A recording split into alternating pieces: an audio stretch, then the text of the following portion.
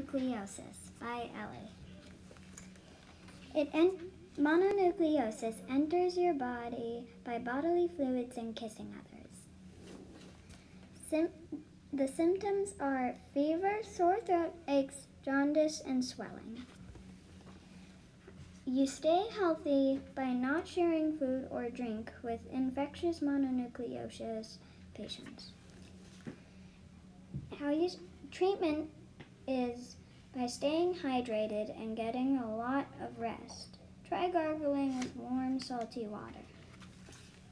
Mononucleosis is a virus. It is nicknamed the kissing disease. If you have mono, get your rest and you'll be the best.